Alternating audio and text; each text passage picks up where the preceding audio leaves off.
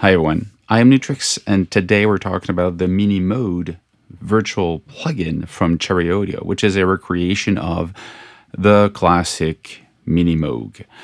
Um, you know, it's a classic synthesizer. Everybody who knows about analog synthesizers know about the Mini Moog. But there's a lot of little things that people don't know, and they just like, oh yeah, it's a classic, but they might not know. So I'm gonna just show you one thing that is really interesting to understand when you use a Mini Moog is the fact that there is no LFO, but you can use one of the oscillator as an LFO. So oscillator number three can be an LFO. So let's actually look at this.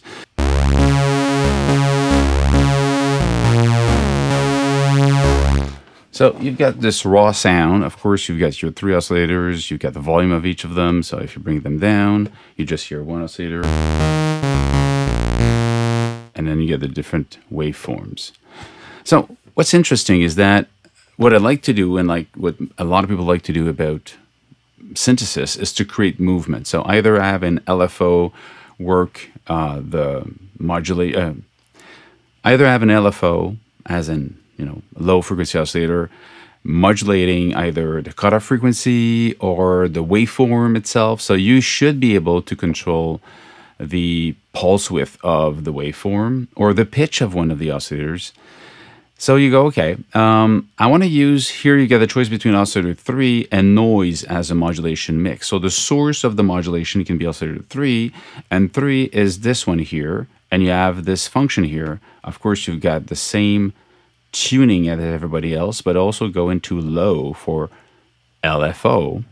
Um, and then you can have it continuous value, so it's the same over all the keys, so it's not key following, or you deactivate this and it becomes an oscillator that follows the keys, and you've got the shape. Okay, so you could even do FM with this if you want.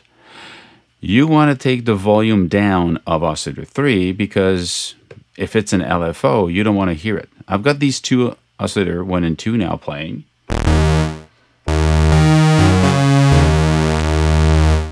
And I could detune one of them a little bit.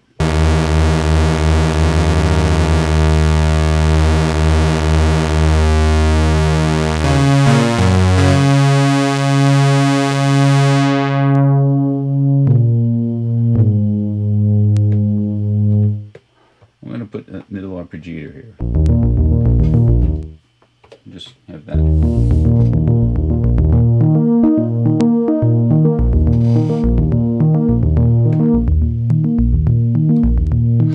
You also have the number of voices. Put it at 1. A real mini Moog will be at 1. But I want the... Right away I'm happy. Know, it sounds nice. But I would like the filter to open up and close. So then I would actually say I want to have the false modulation here, turn it on.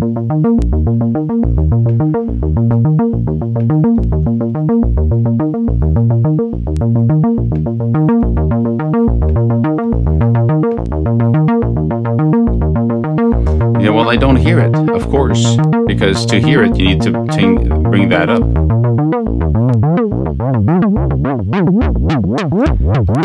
This controls the pitch. Okay, let's do it again.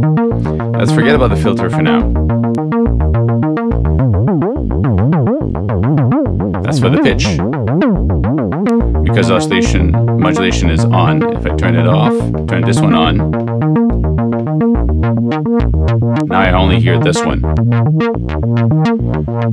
Too fast?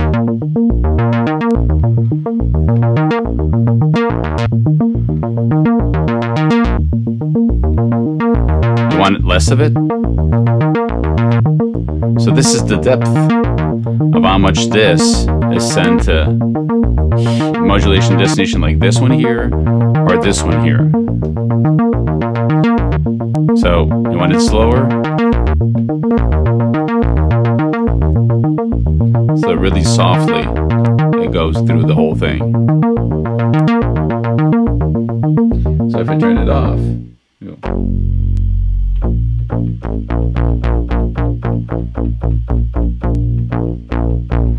every time it changes a little bit because you're always moving the cutoff point. So you're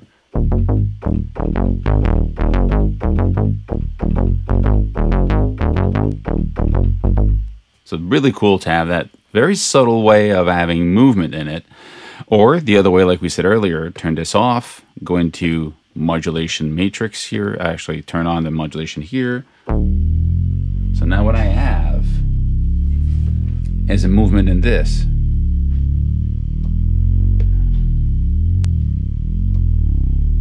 This one is moving. Actually, this one is moving one of these.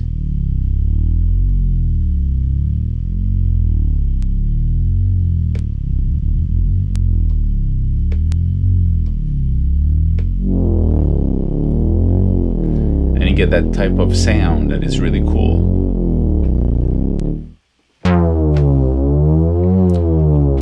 If it's too much,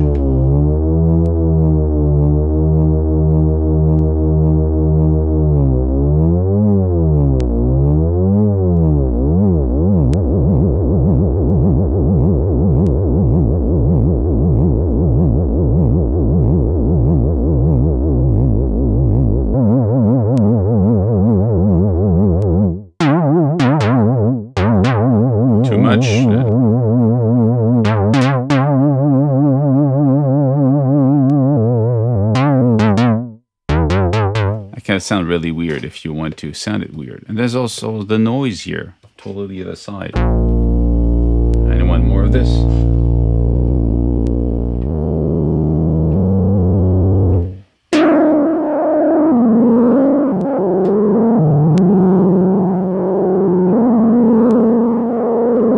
go, why does it sound like this? Well, because you have now a noise changing the pitch of these two. If I send it to the filter, you'll hear how it sounds. Just bring that down.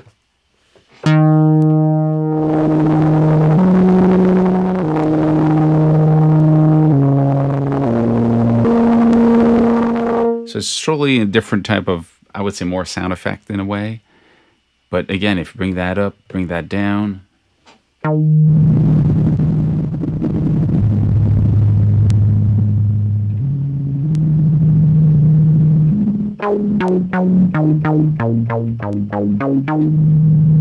So it can be so more like sound effecty in a way.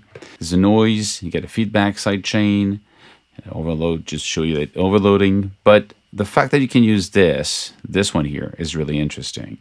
And the fact that you can actually send it higher pitch. Let's go back to oscillator 3. And I'm going to open up the filter so we don't hear this happen too much. We hear Okay, let's listen to this. Now, if I bring this up,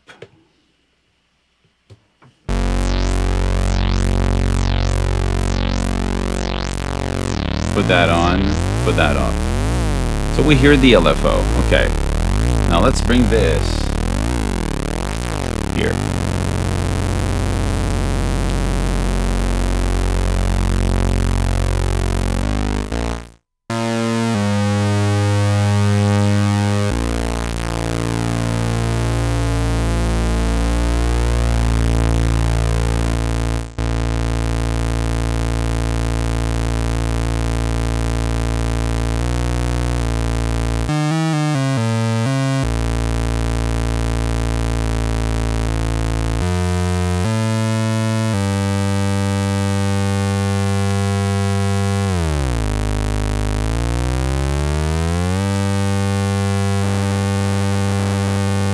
So we're doing some type of FM synthesis here because we're using an oscillator that is in the range of frequency we can hear and we're modulating the other one. So let's bring that down to a sine wave or actually a triangular wave and you'll hear what I'm talking about.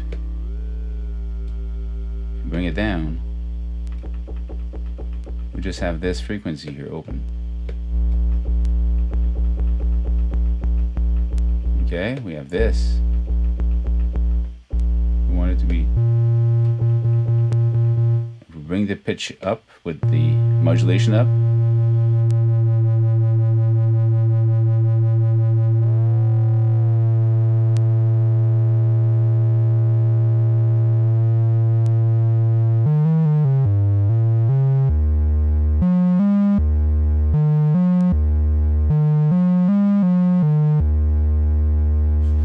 then you can change how it's going to affect it.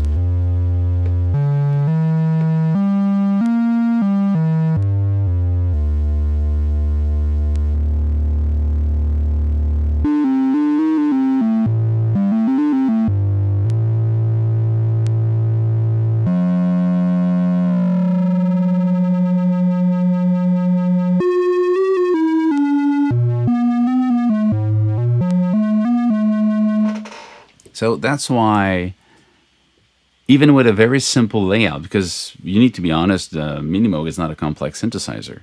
But the fact that you can use the oscillator 3 as a modulator and the noise as a modulator opens up an option of, of I would say, weirdness that is interesting. That's it. Very quick, very simple, straight to couple tips on how to use a Mini Mode a little bit differently, and this time using the Cherry Audio Mini Mode as an example. And just as a finish touch, let's actually listen to some of the presets.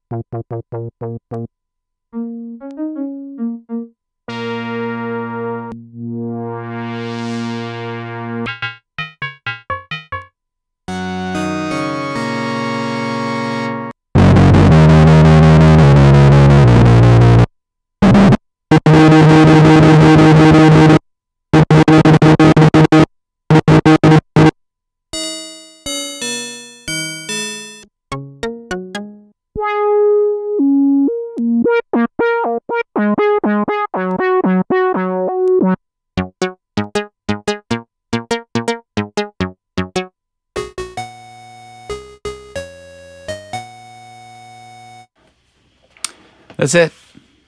If you're interested, check it out. Cherry Audio Mini Mode. Cheers.